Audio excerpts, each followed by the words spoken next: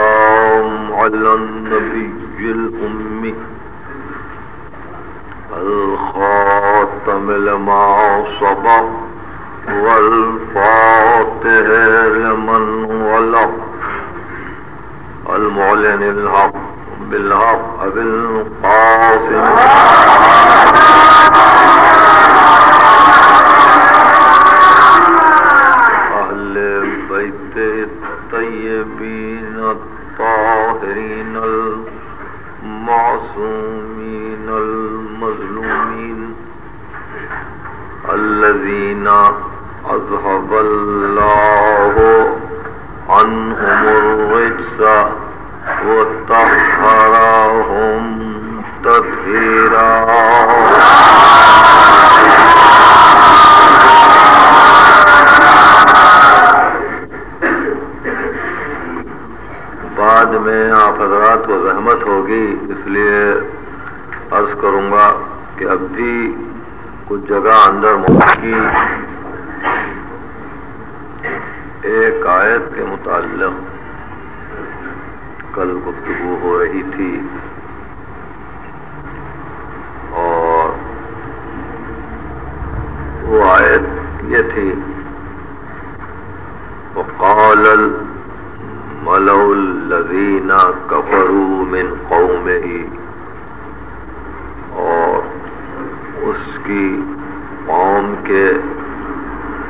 काफिर सरदारों ने ये कहा, उसकी कौम के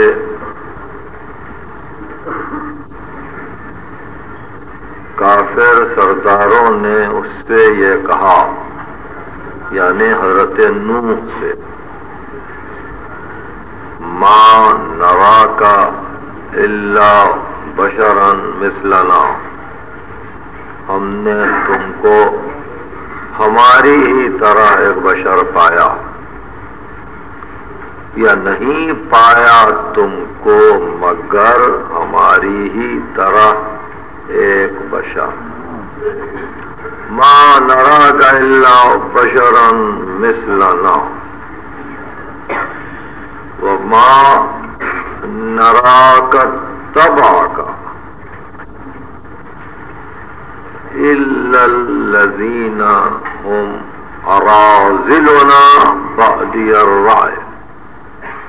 और तुम्हारी पैरवी करने वालों को हमने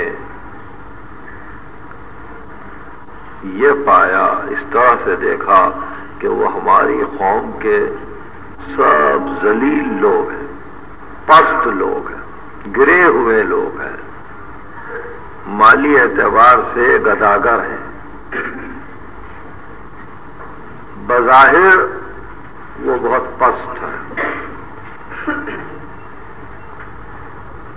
हमने तुमको एक तो अपनी तरह से बशर पाया, दूसरे तुम्हारे मानने वालों को हमने निहायत ही पस्त दर्जे के इंसान देखा।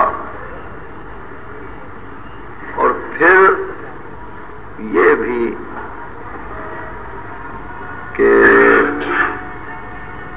हमने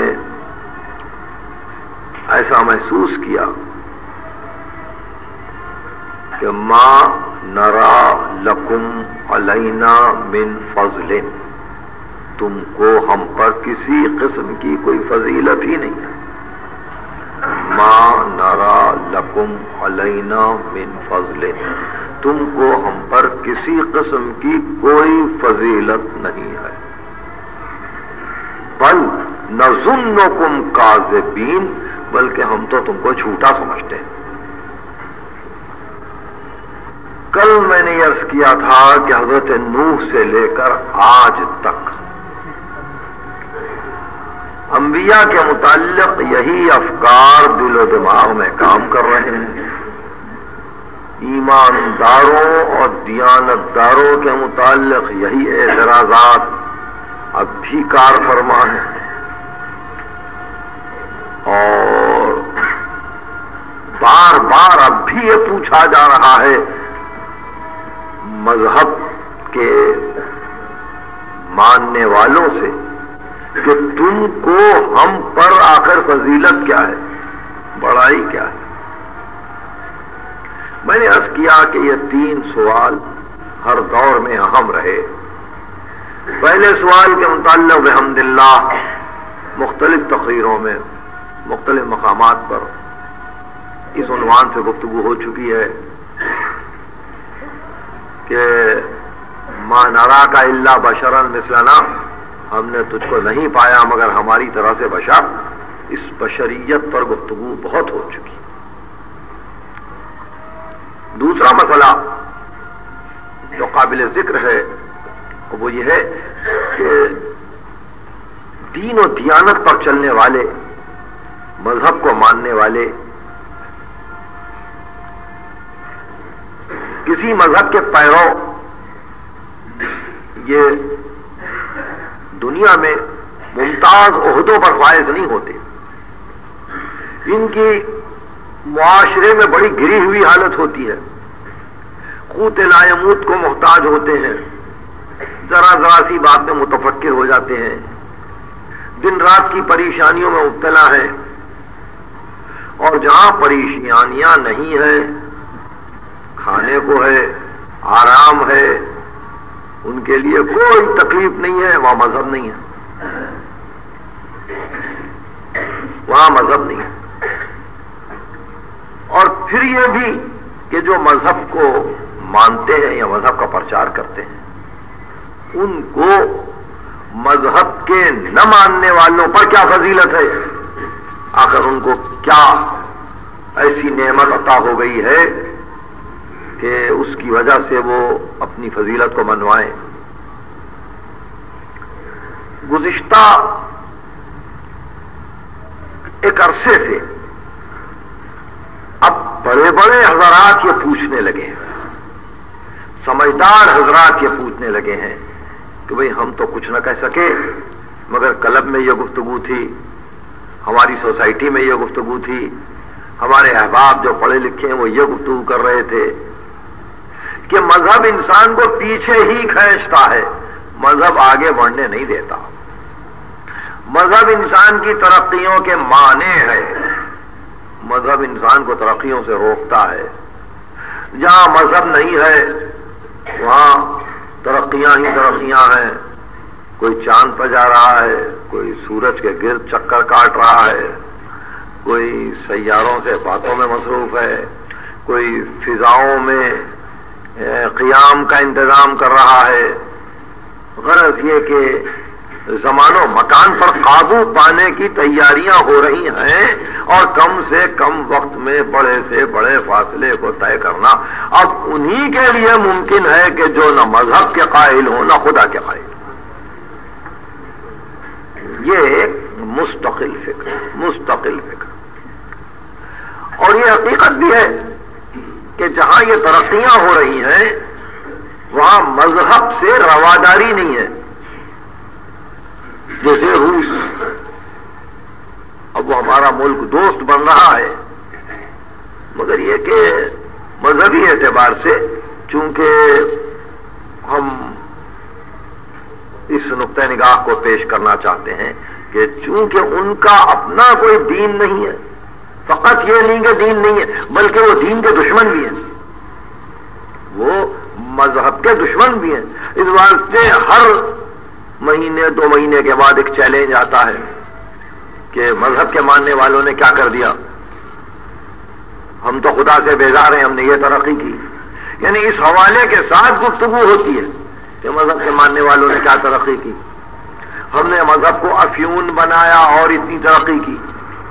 हमने मज़हब को खाब आवर दवा समझकर इतनी तरक्कियाँ की हैं। तो हमारा नौजवान तबका खसूसन जो कॉलेज के क्लासेस में है या यूनिवर्सिटी में है, उसके लिए बड़ी तशनगी पैदा हो गई। बड़ी तशनगी पैदा हो गई कि वाकया क्या है। क्या ये हकीकी बात है कि सिर्फ़ एक यादगार कोहन की तरह मज़हब चला रहा है। आसार कदीमा की तरह मज़हब को माना जा रहा है। पुरानी बातें हैं कंजर्वेटिव थॉट है जहाँ हमेशा इंसान पुराने पन को महफूज रखना चाहता है। अगर यही है मज़हब तो फिर बहुत सख्त ज़रूरत है इस दौर में। कि उस पर और उस फ़िक्र पर आप नज़र पानी करें। मैंने कल व्यक्त किया था कि अगर इस खाम और तफीम की मंजिल में हम पीछे हट जाएँ और कामयाब ना हो सके तो आप में सुनने वालों का और हर एक सुनने वाले का यह फरीजा है कि वो इन सवाल का जवाब दे। अपने हजब इस्तात जवाब दे, अपने बच्चों की तशक्ति करे एक और इस पैगाम को उमूमियत दे कि इस दौर में मज़हब क्यों ज़रूरी है? या मज़हब के मानने वालों को तरक्कियों से क्यों महरूम होना पड़ा? क्या यह वाकई है कि मज़हब तरक्की की राह में हाइल है? क्या यह सही है कि मज़हब को छोड़ने के बाद इंसान तरक्की कर सकता है? और ये तो बजाहिर है, वो जो कुरान ने एतराज़ किया, कुरान चूँकि फलसफे से डील नहीं करता है, कुरान तो हकायक ज़िंदगी पर गुफ्तु करता है, इसलिए जो एतराज़ कुरान में दर्ज है, वो भी हकायक ज़िंदगी पर है। यानी मज़हब के मानने वालों में उमूमन बेबिजात लोग बेइस्तात लोग, कम माया लोग, जिनकी आमदनी कम है, जिनकी ज़िंदगी मुख्तसर है, वो मज़हब का नाम ले लेके एक जगह जमा होते हैं। और ये इतराज है कि क्या बात हो गई? शहर में इतने बड़े बड़े लोग मौजूद हैं, वो मज़हब से दिलचस्पी नहीं लेते। यह आपका सवाल नहीं है, हज़रत नूह के जमाने में नूह की उम्मत के सरदारों ने यह कहा था कुफार के सरदारों ने यह कहा था कि क्या हो गया? ये अराजिल कौम कौम के पस्त आदमी आपके पास दीन को कबूल करते हैं, जबकि दौलतमंदों को इसकी कोई फ़िक्र नहीं है। हम आप में तो कोई बात नहीं पाते, और फिर जिनको आपने दीन की दावत दे दी, अगर उनको फजीलत क्या मिल गई? और पकड़ो पाकर मुबतला हो गए। मैं चाह रहा था कि एक नज़र आप मेरे साथ तायराना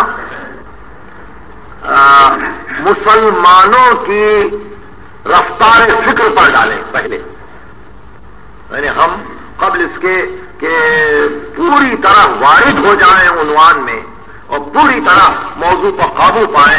फिर तमहीद मुख्तर सी और अच्छी तरह से आप गौर करें कि मुस्लिम मुफक्रीन ने या मुस्लिम मुआरकीन ने या मुस्लिम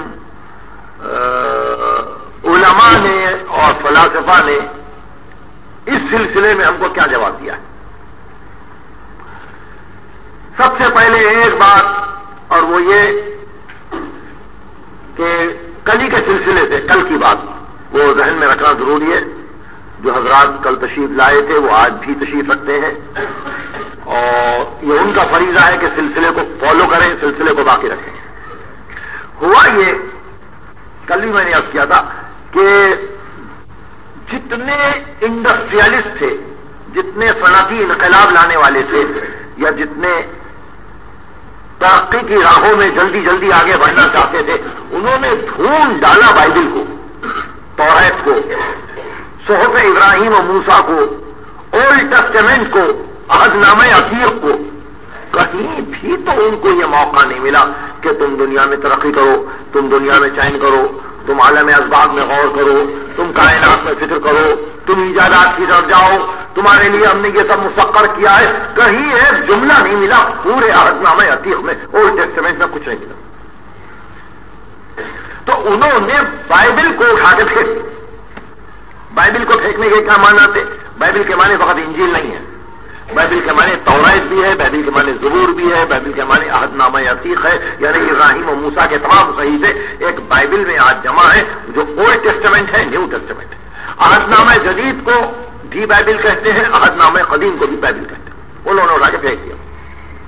तो बाइबिल को फेंका, बाइबिल के मानने वालों को उलट दिया चर्च को ठुकरा दिया पोप से ताल्लुकात मुनकता कर लिए और पापाइयत को ठुकरा दो, पादरियों को खत्म करो, मज़हब से रिश्ता तोड़ लो और ऐलान कर दिया कि मज़हब तरक्की की राह में हाइल है, इन किताबों ने इजाज़त नहीं दी और यहाँ तक हो गया कि पापाइयत ने और पापाइयत के अलमदार पादरियों ने आम ऐलान कर दिया कि जो मज़हब को मानता है, उसको हम साइंसी तहकीकात की इजाज़त नहीं देंगे। साइंसी तहकीकात की इजाज़त देंगे ये कब तक की गुफ्तु है? ये तीन सौ बरस पहले तक की गुफ्तु है। सोलह सौ ईसवी तक की गुफ्तु है। सोलह सौ ईसवी तक। हम इजाज़त नहीं देंगे साइंसी तहकीकात की इजाज़त नहीं देंगे चुनाचे किसी को सजाए ताजियाना किसी को किसी को खत तमाम आगे बढ़ने वालों को सजाए। अब जब इनकलाब आया तो उन्होंने उधर बाइबिल को फेंका, तौरात को फेंका पोप को खत्म किया, पापाइयत को खत्म किया, गिरजा को खत्म किया, पादरियत को खत्म किया। खत्म करके वो ये समझे कि हमने मज़हब को उलट दिया। सबसे पहले मैं ये समझाना चाहता था कि क्या बाइबिल का पढ़ने वाला बाइबिल को पढ़ के ये समझता है कि जो चीज़ बाइबिल में लिखी है, वही कुरान में भी है। क्या वो ये समझता है कि बाइबल में अगर कोई चीज़ नहीं मिली तो कुरान में भी नहीं होगी? क्या उसने ये फैसला कर लिया कि बाइबल की तरफ़ से कुरान ने भी कुरान ने भी इंसान को तरक्की से रोक दिया? कुरान ने भी इंसान को तहकीक से रोक दिया, मुशाहिदे से रोका, तजर्बे से रोका, आगे बढ़ने से रोका, दुनियावी इजादात इनके शफात से रोका, या कुरान ने रोका? नहीं। मगर क्योंकि एक मजहबी किताब पढ़ के चले थे सारे मजहबी किताबों पर हुक्म लगा दिया। पादरी मुतासर हुआ तो आलिम भी मुतासर हुआ। पेट मुतासर हुआ तो हमारा मुल्ला और फकीर भी मुतासर हुआ। चर्च को मुतासर किया, मस्जिद मुतासर हुई। और दुनिया के हर मज़हब से एक इतिहाम यह आया कि जहाँ मज़हब होगा, वहाँ नहीं होगी। आप समझिए गलत फहमी को समझ रहे हैं आप कि चूँकि बाइबल में कुछ न था, उन्होंने एक हुक्म लगाया सब पर कुरान पर और सारी किताबों दरा लेके इनको कुरान पढ़ने का कभी ज़िंदगी में मौका नहीं मिला। तर्जमा भी नहीं पढ़ा। हुक्म लगा दिया अब यह देखना है कि एक तो उन्होंने वो गलती दूसरी तरफ़, क्या हमारे पास हमने इस अमर की कोशिश की कि इन भागने वालों को थाम कर और रोक कर यह कहा जाता, देखो, गलती कर रहे हो, आप ये है।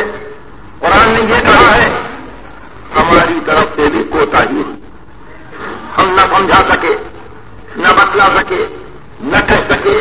और जब उनको शदीद ज़रूरत थी इनकलाब संघर्ष के मौके पर कि वो मज़हब से बेगरवार हो रहे थे तो हमारे पास कोई ताकत इस काबिल नहीं रही थी कि वो दुनिया के सामने कुरान को पेश करता। इसलिए कि यही वो सरो साल था, जबकि हमारी सारी शाहियाँ पाँच पाँच हो गई, सोलह सौ ईसवी काले पता खत्म हो गए बनी अब्बास खत्म हो गए, आले उस्मान की हुकूमत खत्म हो गई निहत्ता परेशान होकर बैठ गया। वो अपने पैगाम को पहुँचा न सके। उन्होंने हम गए थे उनको से वापिस आ गए। हम स्पेन पहुँचे थे, स्पेन को हमने छोड़ दिया। हम यूरोप के कर्ज में आ गए थे कर्ज के पीछे हट गए। जगह जगह फुतुहात हमको ले गई थी। सब मकाम हम खाली करके वापिस आ गए। यानी अब हमें सलाहियत नहीं थी कि हम कुरान किसी के सामने पेश करते इसलिए उन्होंने फैसला किया जहाँ मज़हब है, वहाँ तरक्की नहीं है। वो फैसला तीन सौ बरस से लोगों के दिलो दिमाग पर मुसलत होते होते होते। अब हमारे बच्चों के दिलो दिमाग पर भी मुसलत हो गया है कि मज़हब से कोई तरक्की नहीं होती है। मज़हब मुफीद नहीं है। मज़हब से किसी को आराम नहीं मिलेगा। मज़हब एक यादगार कोहन है, एक पुरानी यादगार के तौर पर उसको बाकी रखा जा सकता है मगर उसको ज़रूरत ज़िंदगी नहीं बनाया जा सकता ये एक आम शुभा है मेरी अब तक अगर मैं फ़िक्र को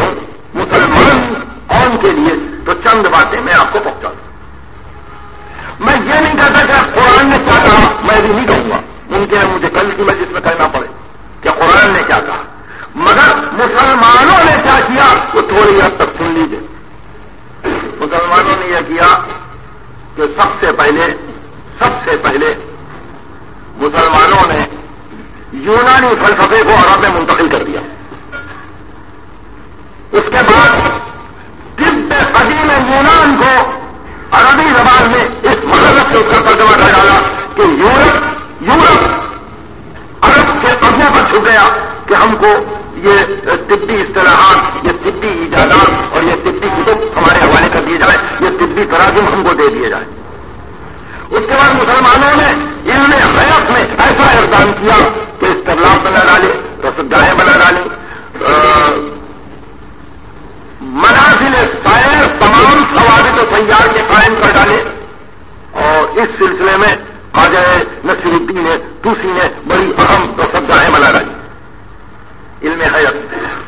और इसी सिलसिले में मुसलमानों ने दो मुस्तकिल ऐसे उलूम की बिना डाली कि जिनके मुतालिक आज तक दुनिया कहती है कि ये उलूम सिर्फ़ मुसलमानों से वाबस्ता है, कोई और कौम इन उलूम की बिना नहीं रख सकती। एक एक इल्म अलजबरा का, दूसरे इल्म रिजाल का।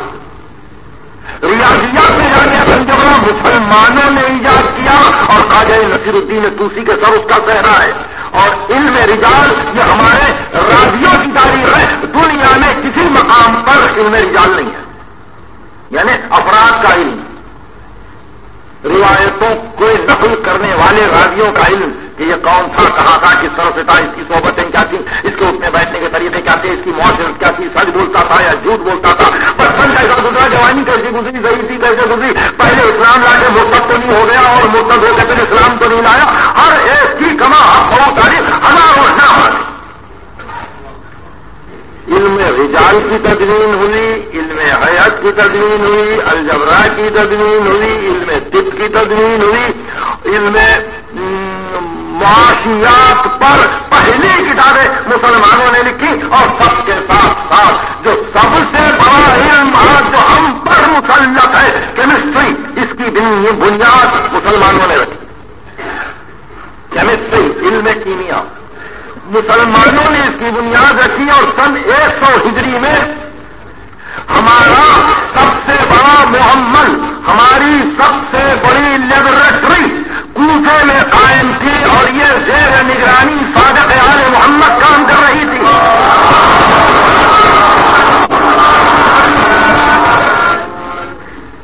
ताजुब होगा, मगर जागर बिन हरिया ने कुर्सी का नाम दुनिया जानती है।